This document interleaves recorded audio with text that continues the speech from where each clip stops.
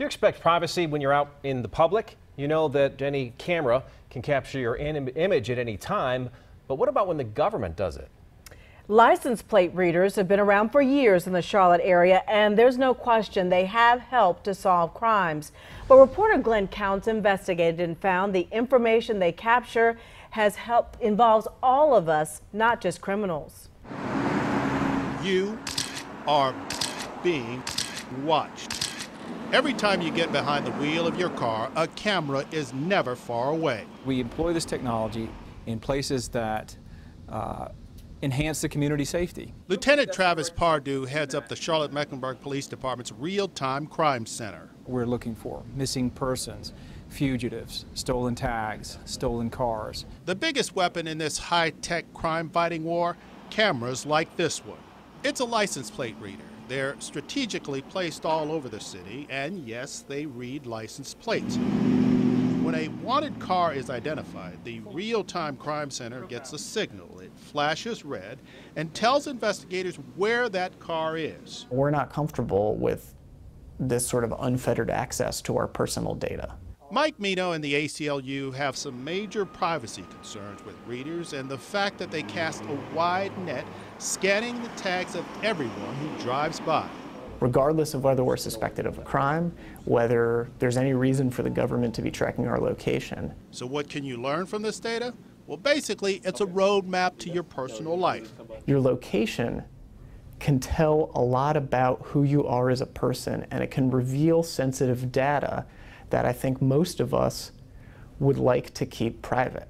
So how wide of a net are we talking? The system can read 3,000 tags in an hour. If you multiply that by 24, that's 72,000 tags in a day and 26 million tags in a year.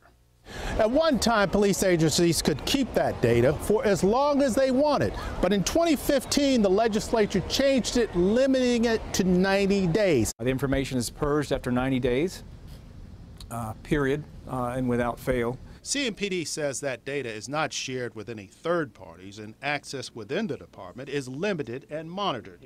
Police don't believe there's a privacy trade-off and they say the system has helped them solve hundreds of crimes, like the arrests of Devonte Everett and James Allen for a series of convenience store robberies.